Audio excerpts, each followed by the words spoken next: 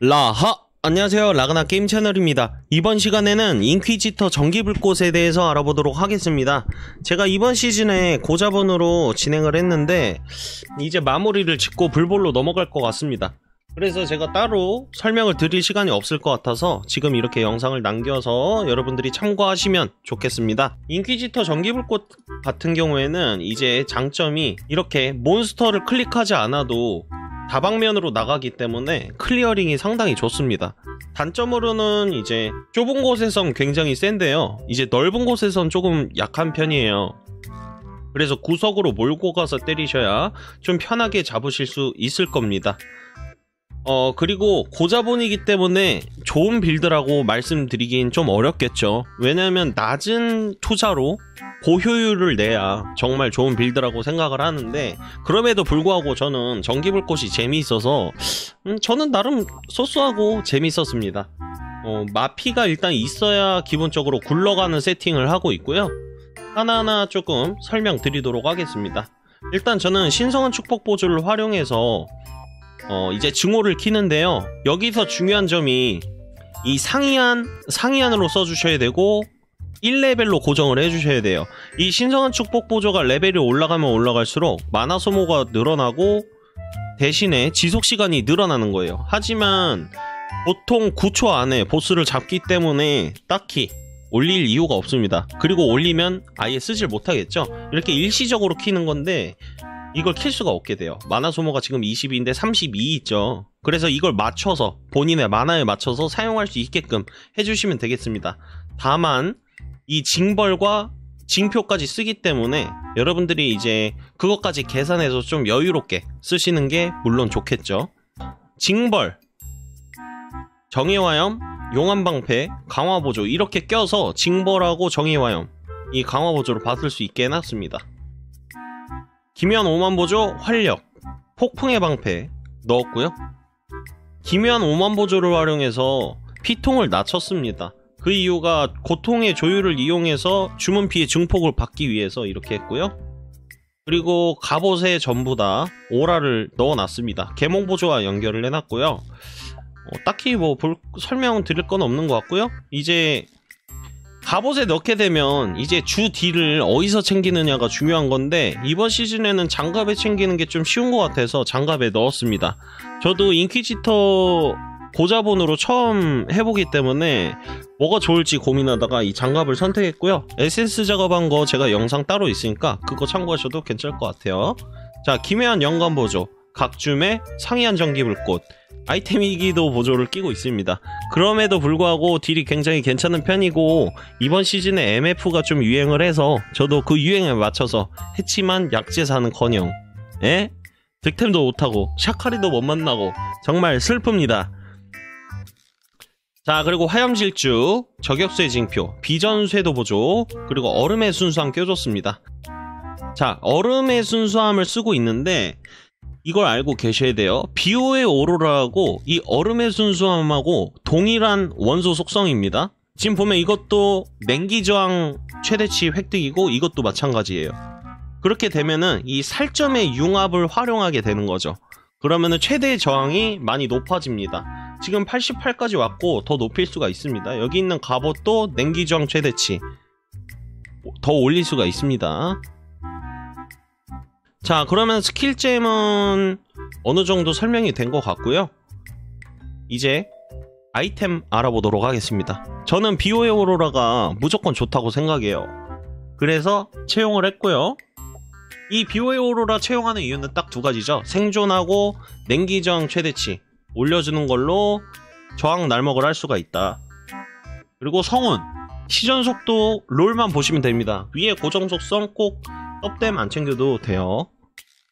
그리고 오라를 많이 키기 때문에 투구하고 갑옷에 혐오의 에센스를 통해서 작업을 해줘서 피통하고 모자른 stat 그리고 저항 챙겨주시면 아주 좋겠죠. 그리고 주디를 장갑에서 하는데 에센작 제가 따로 영상 올려놓은 게 있으니까 장갑 만드는 방법 그거 보시고 하시면 아주 좋을 것 같고요. 치명타 확률 에센스를 바르게 될 텐데 저는 치명타 재련을 했습니다. 하지만 여러분들은 시전 재련으로 하시는 게 더 좋을 거라고 봅니다. 그게 확률적으로 100%로 아마 무조건 뜨는 걸로 알고 있거든요.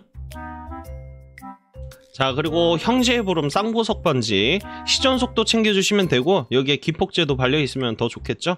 자 그리고 벤토의 도박까지 껴줬습니다. 이건 꼭 안 껴도 되고요. 뭐 시전 속도 붙어있는 저항 빵빵한 걸로 구하셔서 쓰셔도 전혀 무관합니다. 자 그리고 공허보행자 엄청난 가성비로 쓰고 있고요. 이제 업그레이드 하려면 도순맹 정도 괜찮은 것 같아요. 자 그리고 물약 보도록 하겠습니다. 병밋 그리고 황금 플라스크 마피기 때문에 이제 상시 적용입니다. 그래서 희귀도를 계속 받으면서 플레이를 할 수 있겠죠. 자 그리고 카저 낮기 때문에 챙겨주고요. 시전 속도 같이 연결해 줬습니다. 어 그리고 토파즈 플라스크의 스킬의 마나 소모 감소 이것도 굉장히 중요해요. 마나 소모 감소를 crafting하지 않으면 어, 전기 불꽃을 쓸 수가 없어요. 자 그리고 이동 속도 이렇게 해놨고요.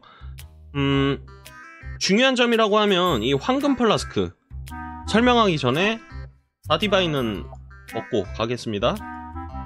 플라스크 같은 경우에 정말 중요한 건 이 황금 플라스크를 쓰고 있지만 여러분들이 치확이 모자르면 다이아몬드 플라스크로 바꿔줘야 된다는 점입니다. 저는 이걸 끼고도 치확이 100%가 되는 이유가 있는데요. 그 이유는 바로 5차 전직 주얼 때문에 그렇습니다. 여기 보시면 힘의 신념이라고 최소 권능 충전 보이시죠?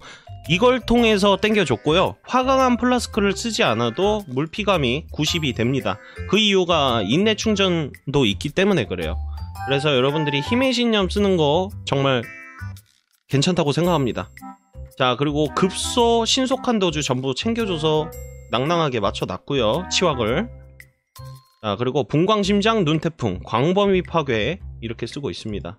여기도 분광심장 눈태풍 광범위 파괴 여기는 도리안이 교훈 분광심장 눈태풍 이렇게 챙겨줬고요. 아 그리고 이게 중요한데 이 위험한 연구가 굉장히 좋더라고요. 이 가격도 괜찮고 타락한 피 면역을 여기서 땡깁니다. 그리고 원형으로 발사되기 때문에 이렇게 뒤로도 나가게 되는 거예요. 만약에 이걸 빼게 되면 앞으로만 나갑니다. 보이시죠? 그러니까 좀 뒤로 늦게 가요.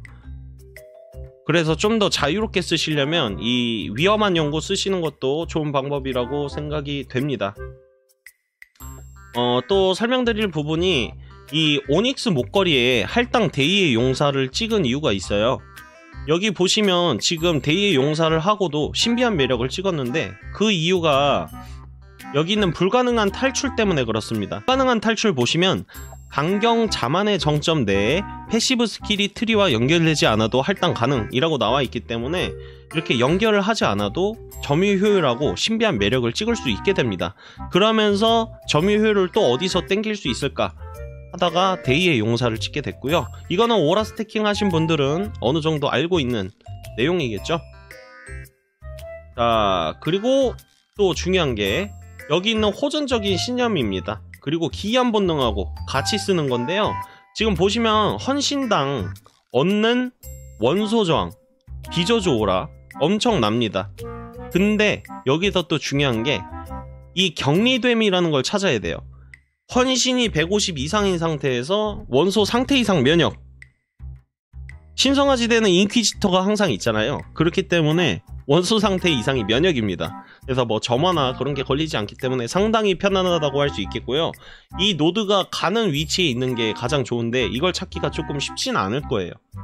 그리고 이 헌신당 원소정하고 비저주 오라가 올라가는데 여기 있는 기이한 본능을 통해서 이 반경에 있는 찍지 않은 소형 노드들이 전부 다 찍히는 겁니다. 그렇기 때문에 헌신을 85나 끌어와서 여기에 적용이 되는 거죠. 그래서 여러분들이 이 메커니즘을 알고 계시면 이제 전기불꽃 아니더라도 폭풍의 낙인을 하실 때도 저는 이렇게 사용을 했었거든요. 그리고 분광주얼, 열광시전, 그리고 결이, 치명타 받는 추가 피해 감소 정도로 챙겼고요. 어, 딜적으로 좀 더 올리고 싶으시면 열광 시전에 다른 뭐 정밀치배라든지 뭐 그런 걸 사용하셔도 나쁘지 않을 것 같습니다 여러분 관통을 챙기지 않아도 되는 건 인퀴지터이기 때문에 가능한 거고요 그리고 여기는 비껴내기 신성한 방패가 정말 꿀 중에 꿀이라고 할 수 있겠습니다. 그리고 나머지는 그냥 일반적으로 생명의 2칩의 정도 사용을 하고 있습니다.